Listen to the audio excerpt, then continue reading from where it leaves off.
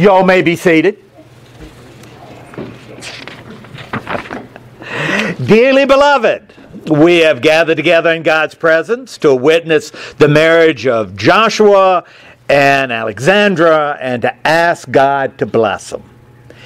We are called to rejoice in their happiness, to help them when they have trouble, and to remember them in our prayers. Marriage's purpose is that a, that a husband and wife should love each other throughout their life together, and that their future children should enjoy the security of family and home. Alexandra, will you have this man to be your husband, to live together in the covenant of marriage? Will you love him, comfort him, honor and keep him in sickness and in health? And forsaking all others, be faithful to him as long as you both shall live. I do. Joshua, will you have this woman to be your wife, to live together in the covenant of marriage? Will you love her, comfort her, honor and keep her in sickness and in health, and forsaking all others, be faithful to her as long as you both shall live. I do. Good. Will the parents of Joshua and Alexandra please stand? Do you give your blessing to Alexandra and Joshua and promise to do everything in your power to uphold them in this chapter called marriage? I do. Yes, we do. Good.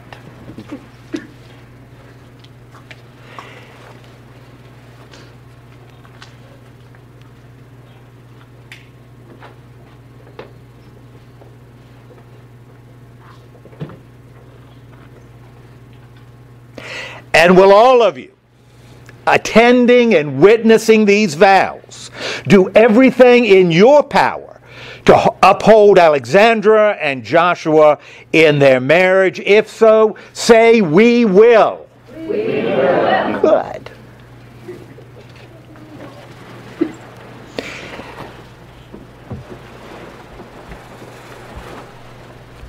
You're remarkably taller than you were last night. Just a little. Hear the word of God as written by the Apostle Paul to the church in Corinth. Though I command languages both human and angelic, if I speak without love, I am no more than a booming or cymbal clashing. And though I have the power of prophecy to penetrate all mysteries and knowledge, and though I have all the faith necessary to move mountains, if I am without love, I am nothing. Though I should give away all that I have to the poor, and even give up my body to be burned, if I am without love, I, it will do me no good whatsoever. Love is always patient and kind. Love is never jealous. Love is not boastful or conceited. It is never rude and never speaks it seeks its own advantage. It does not take offense or stores up grievances. Love does not rejoice in wrongdoing, but finds its joy in the truth. It is always ready to make allowances, to trust, to hope, and to endure whatever comes. Love never comes to an end. But as for prophecies, they will be done away with. If tongues, they will fall silent. If knowledge, it will be done away with. For we know only imperfectly, and we prophesy only imperfectly. But once perfection comes, all imperfect things will be done away with. When I was a child, I used to talk like a child and see things as a, as a child does and think like a child. But now I have become an adult and I have finished with all childish ways. Now we see only reflections in a mirror, mere riddles. But then we shall see face to face. Now I can only know imperfectly. But then I shall know just as I am fully known. As it is, three things remain faith, hope, and love. The three of them. And the greatest of these is love. Amen.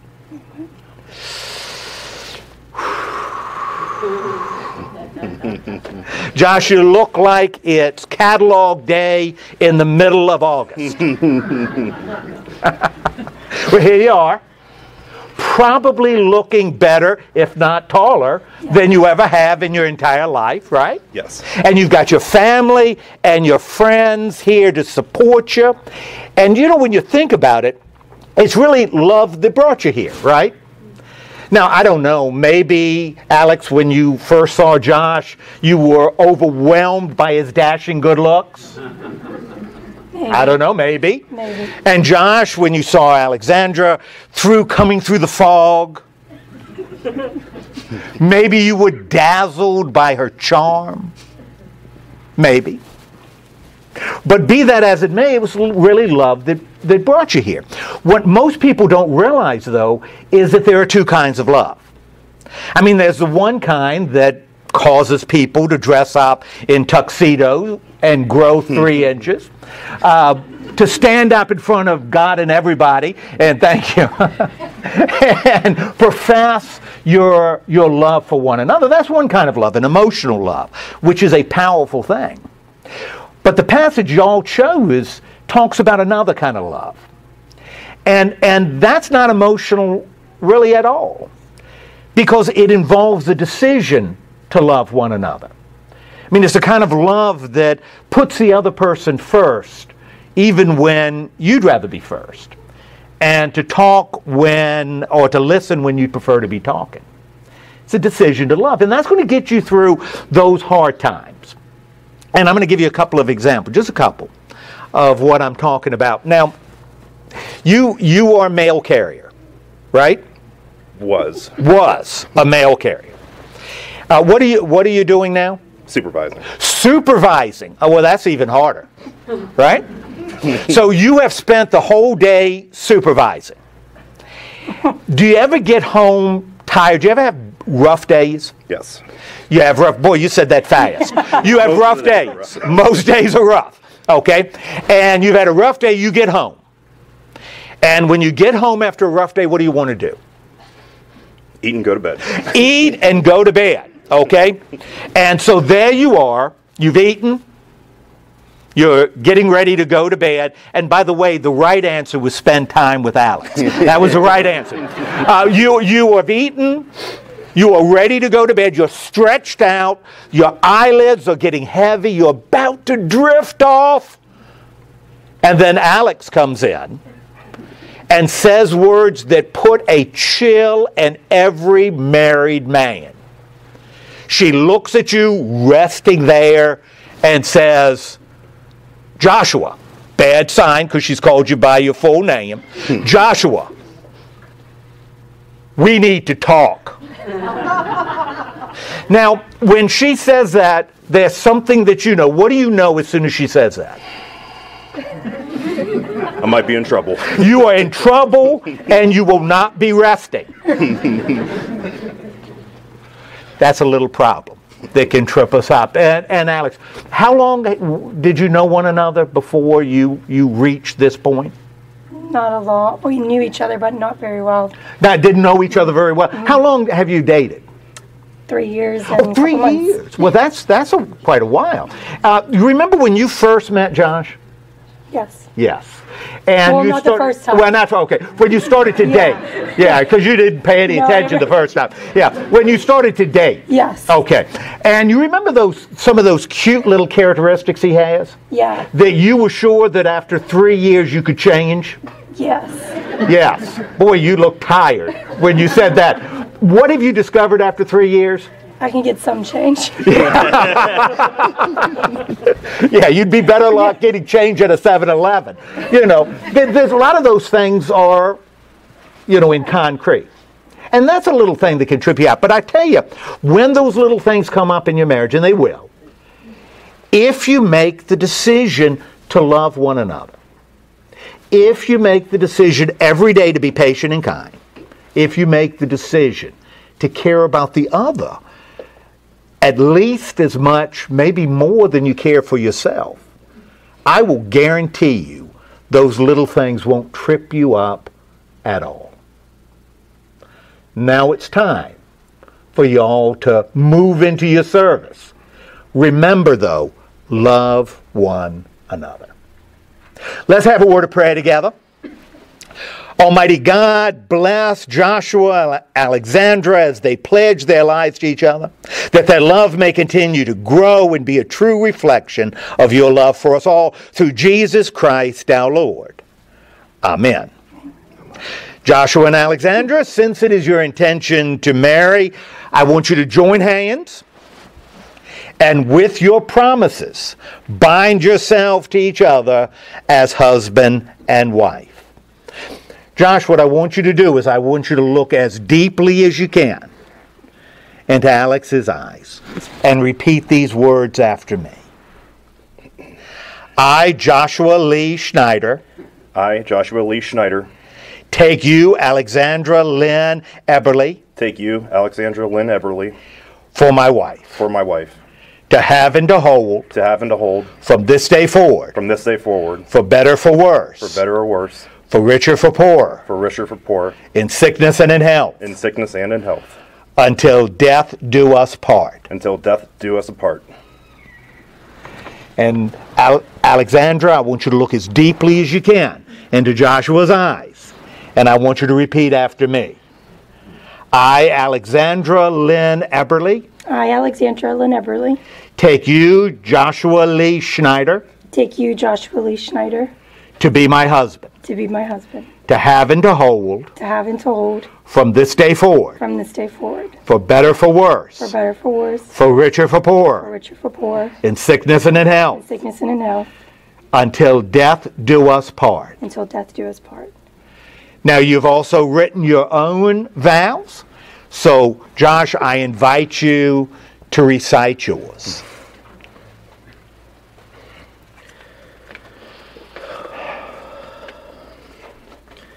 Dear Alex, I never imagined I would be marrying somebody today who I first met by talking badly about the post office. At the start of our novel together, things were not the easiest between us. Despite the hard times, we were able to prevail and eventually settling into ours and Ember's house together. Many people have asked me if I feel I am making the right decision. Committing my life to you has been one of the easiest decisions I have ever made. You have stuck with me through some of the best and worst times of my life, and there is nobody I would rather spend the rest of my life with. I vow to kiss you every morning and every night we are together. I vow to be the bookmark in our story when the times get rough. I vow to be the man you inspire me to be and the man that you deserve. Lastly, I vow to spend every day I have left on this earth showering you with zealous love and faithful commitment. Thank you. And Alexandra, now please share your vows.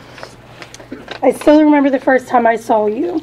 Well, it wasn't the first time exactly, because while I know it was in Clarion, our first time was non memorable.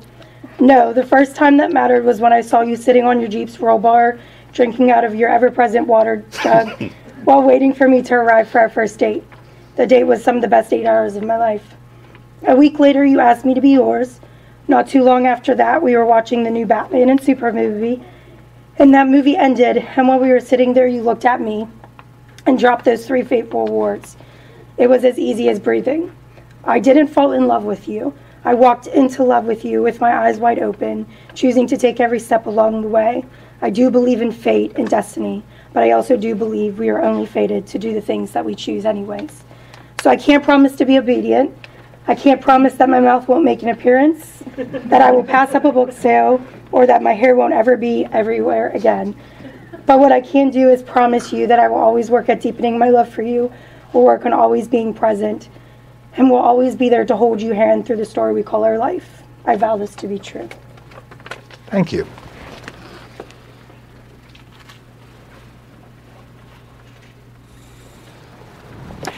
For thousands of years, lovers have exchanged rings as a token of their vows. Let these rings be a sign of that love that has a past and a present and a future.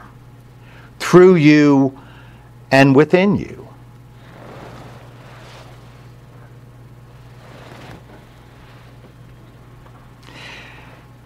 This ring I give you This ring I give you, in token and pledge in token and pledge of our constant faith of our constant faith and abiding love. and abiding love.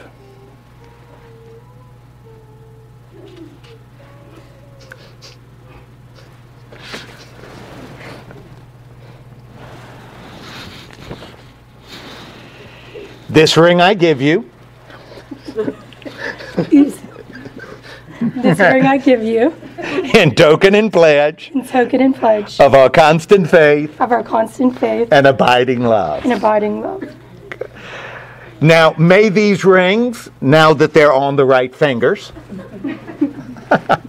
may, may they represent that completed circle, symbolizing commitment, May they remind you of your love like the sun warms what it touches. Like the moon bright, brightens up the night, like the eye is a, a gateway to the innermost soul. And your love, like the arms that embrace you, make everything right within the world. It is well known, a well known phrase, that actions speak louder than words. Actions such as rituals that we have performed today like holding hands and carrying flowers and exchanging rings. They convey deep symbolic meaning. They show you are committed to taking action with regard to your promises. At this time, I'd like each of you to take the candle that your mothers have previously lit and together light the larger one to flame.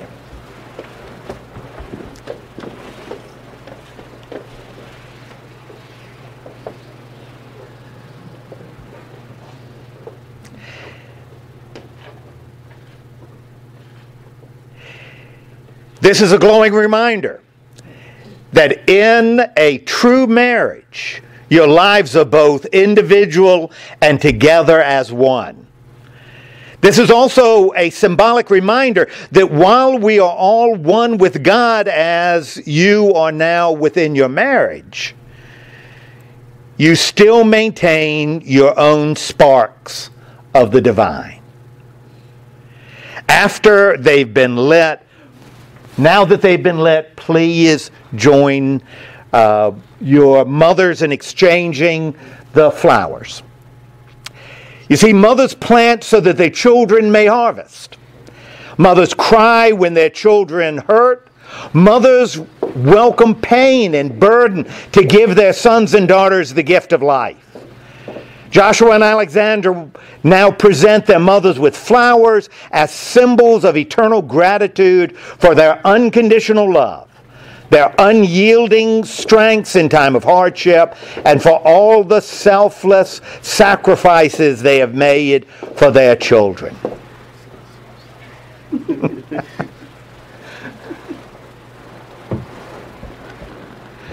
Let's have a word of prayer.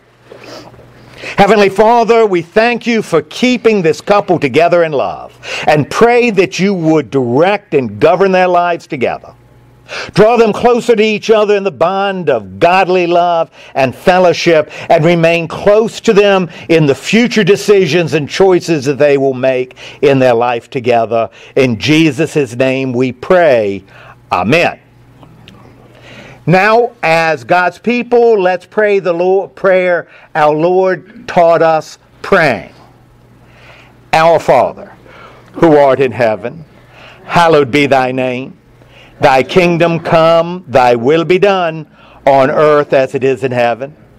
Give us this day our daily bread, and forgive us our trespasses, as we forgive those who trespass against us. And lead us not into temptation but deliver us from evil. Amen.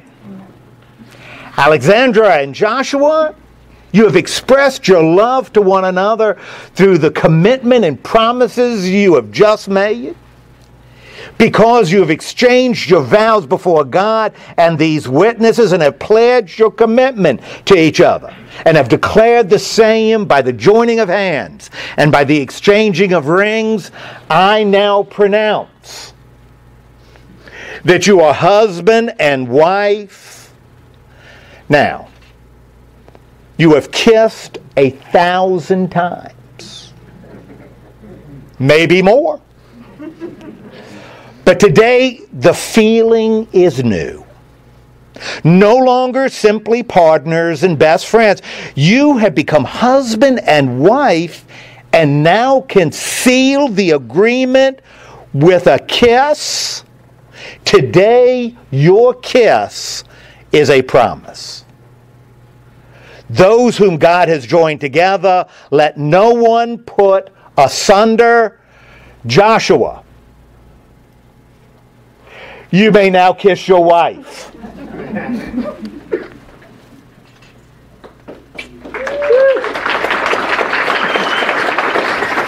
Let's pray together.